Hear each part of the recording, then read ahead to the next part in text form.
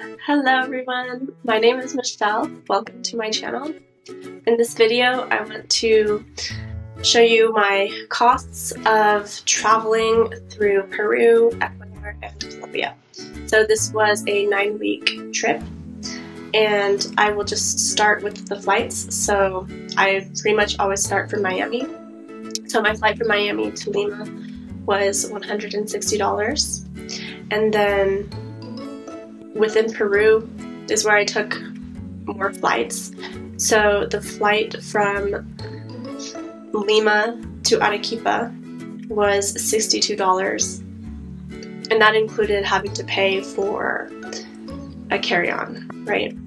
So then the flight from Cusco to Lima was $60 and then I had a flight from Lima to Tumbes to get to the north of Peru that was 100 and oh sorry that was $73 and then it was the final flight from Cali when I was flying back to Miami. That was $120 so those are all of the costs of just flights. Then within Peru within Ecuador and Colombia we would take obviously buses um, and taxis or Ubers, which the Ubers would be like one or two dollars. It's very cheap in South America. And then with buses, it's also very cheap. So, for example, the bus from Arequipa to Cusco was like $10, so it's still cheap. So the total for all of that was around $50, just a little less than $50. Then we go to groceries. So um, I was traveling with someone, so we would just split all of our costs. Um, that goes for pretty much everything. So on groceries, just for my part, it was $140.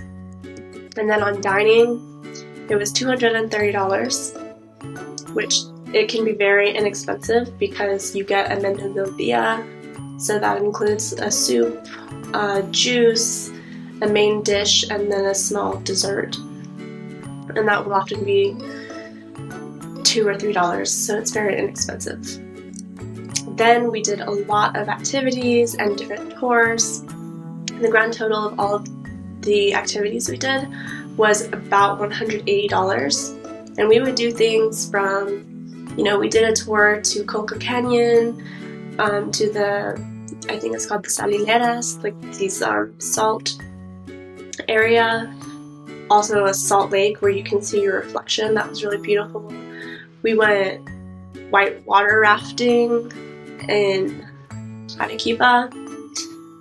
I think it's the in the Chili River, which was really crazy because it was um like a high level, but it, it was a lot of fun. And I think it cost like fifteen dollars. And We would go um, sand boarding. You go on these buggies through the sand dunes. That was in Ica. And we even rented 4x4s. That was when we stayed in Cusco. And yeah, all of these things are super inexpensive. You can do it for like $15 pretty much. The day trips, you always have to wake up at like 4 in the morning. They start super early because you have to travel a lot, but it's well worth it. The most expensive thing was going to Machu Picchu, which we did. Uh, basically, you go seven hours by van, and you get dropped off at these like hydroelectrico, some some spot where you get dropped off and you walk along the train tracks to get to Aguascalientes, which is the town, and from there you go to Machu Picchu. That tour I think was about $90, but it includes your entrance to go to Machu Picchu. I have a Peruvian citizenship, so for me it was cheaper. For other tourists, I know it's more expensive. And then the final and the biggest expense is always accommodation. So again, I was traveling with someone, so we would rent Airbnbs because we both had to work.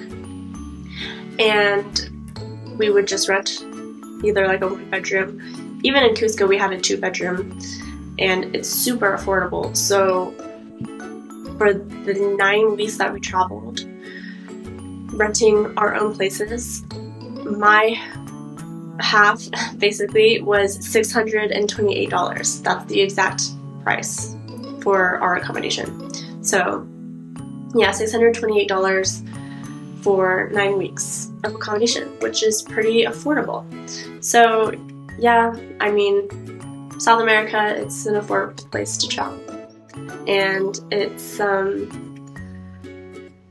I, I mean, there are long journeys, so traveling from Tumbes, crossing the border to Ecuador, that bus, you know, and then crossing the border to Colombia. They're long bus rides, but it's safe, you know, as long as you don't travel at night. So if you do have any questions, let me know. So this summer, starting in June, I'll be doing about a 10 week trip in Colombia, just Colombia this time. So yeah, let me know if you have any questions. I would be happy to help you, even if you want any tips or advice on places to visit. Just let me know. And thank you for watching. I will see you in the next one. Bye.